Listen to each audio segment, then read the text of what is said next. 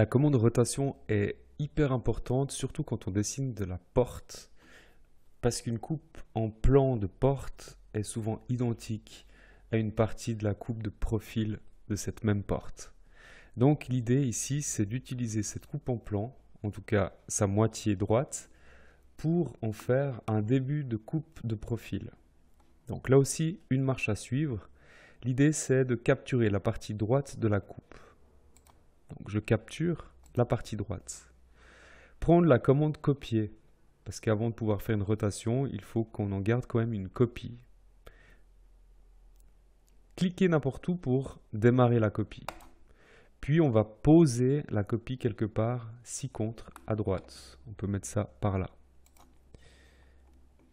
Capturez ce que vous venez de copier, puis prendre la commande rotation. Donc je capture, je prends la commande rotation, je clique au centre de mon objet, par là.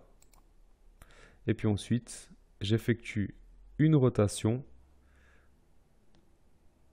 en cliquant quelque part sur une verticale, mais là en l'occurrence ce sera quelque part dans la partie haute de cette verticale, donc en dessus de la pièce pour qu'elle soit orientée dans le bon sens.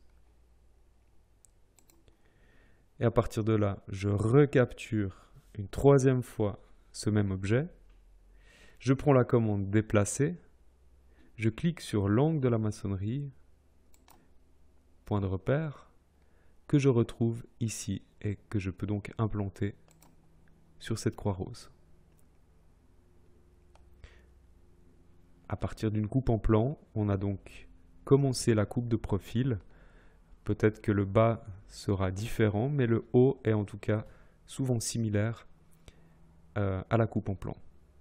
Donc, commande rotation hyper importante lorsqu'on dessine des portes.